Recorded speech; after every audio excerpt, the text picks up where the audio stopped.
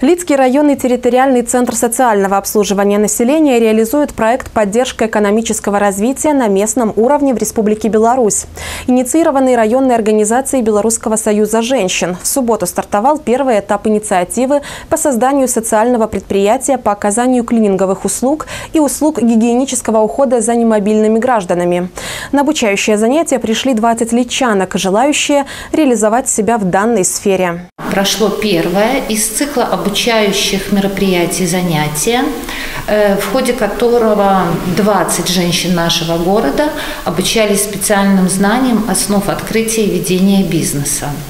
Занятия проводили высококвалифицированные тренеры, преподаватели нашего Лицкого колледжа, магистр экономических наук Анастасия Утовка и Марта Дашкевич.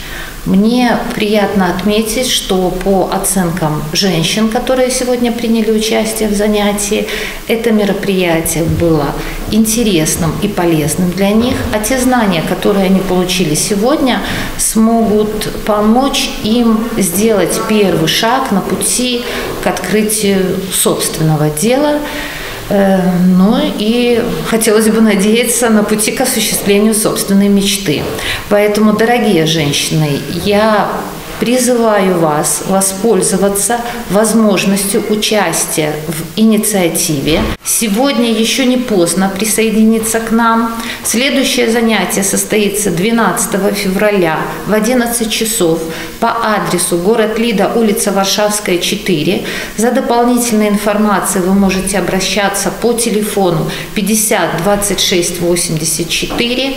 Звоните нам, записывайтесь. Опытные наставники помогут вам реализовать свою идею, свой бизнес. Ну, а если на сегодняшний день пока такая идея у вас не родилась, мы предлагаем вам воспользоваться нашей идеей и попробовать себя в сфере клининговых услуг и услуг гигиенического ухода за немобильными гражданами.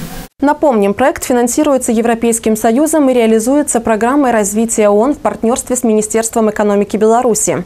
Его стоимость порядка 46 тысяч долларов. Почти 40 тысяч долларов выделено Европейским Союзом. Остальные расходы берет на себя Лицкий районный территориальный центр социального обслуживания населения в качестве софинансирования.